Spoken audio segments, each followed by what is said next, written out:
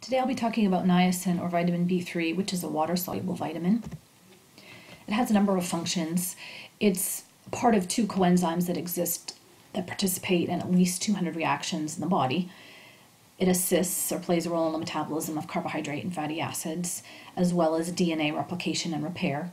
Generally, you'll find niacin in the supplement form as nicotinamide, and it can be synthesized in the liver from tryptophan from turkey and you need approximately 60 milligrams of dietary tryptophan to make one milligram of niacin. Again, that occurs in the liver.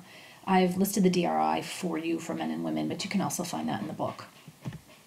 Food sources, as with most of the vitamins, enriched grains, beef, chicken and turkey that I mentioned, and fish, it is heat stable, so you're not going to lose a lot of niacin when you do cook your food.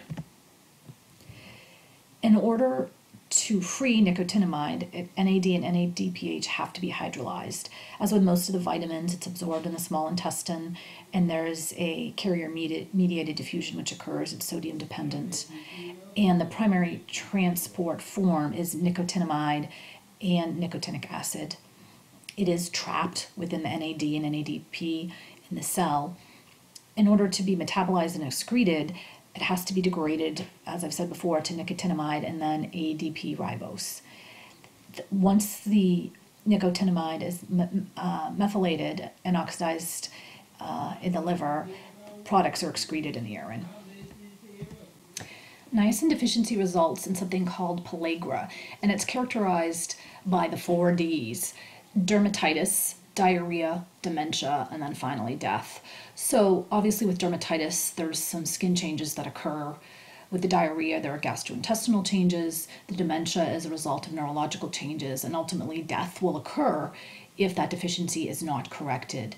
The treatment involves the administration of 300 milligrams of niacin daily in three divided doses. So, in other words, 100 milligrams of niacin, TID, or three times a day for one month to correct the deficiency. And this is a picture of the dermato- dermatological manifestations of niacin deficiency in an alcoholic, the before and after the treatment. It almost looks like a sunburn. Um, so you can see the difference after this individual has been treated for the deficiency. In terms of toxicity, the upper level is 35 milligrams per day.